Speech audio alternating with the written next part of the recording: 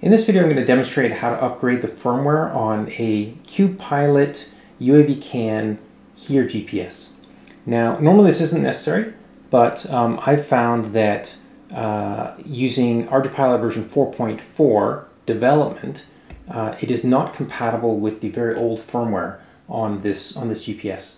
Now this particular issue may be resolved by the time 4.4 becomes the stable version, but I thought I'd just take the opportunity here to show how to upgrade the firmware on, on these GPSs anyway. So uh, what you do is you uh, connect your autopilot to your PC with the USB cable, you start up Mission Planner, you connect, then you go to Setup, and then Optional Hardware, then you look for Drone CAN UAV CAN, and now we've got a couple of buttons at the top here. Um, this GPS is connected to CAN port 1, so I'm going to push the Mavlink CAN 1 button. And this shows me all the sensors that are on this uh, CAN port, got Mission Planner, and what we're looking for though is com.hex.here, which is the GPS.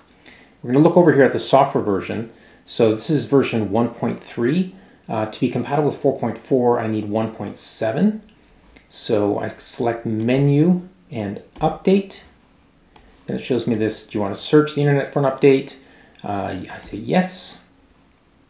Downloads the firmware, and it should automatically install it now. Okay, looks like it's done. And now we can see the version has increased to 1.7, which is great. Go back to the data screen. Still not appearing, but oh, there it is. The GPS is now working great. All right, that's it. Thank you very much.